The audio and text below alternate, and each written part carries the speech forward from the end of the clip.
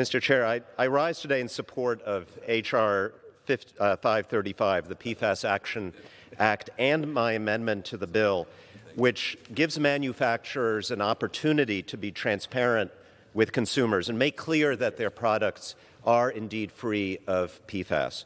PFAS chemicals are found in coatings that line products like nonstick pots and pans, waterproof clothing, and grease resistant and fast food containers, items that we use every day and rarely think about.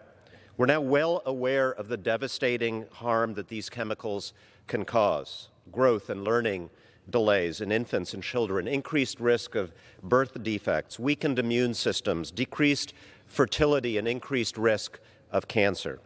Each year, billions of pounds of these products are dumped into landfills or burned in incinerators, releasing PFAS pollutants into the air, the water, the soil, contaminating the food we eat and the water we drink. In my district in New Jersey, there are over 133 contaminated sites, more than 30 of which, 30 are schools.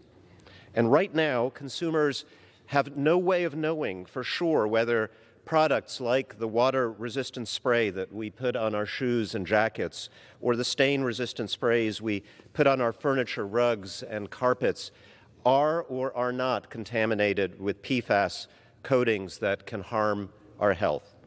My amendment would alleviate this problem. It will add stain, water, and grease resistant coatings to the list of products eligible for a voluntary label indicating the absence of PFAS, which will allow consumers to make safer, more informed decisions about the products that we purchase.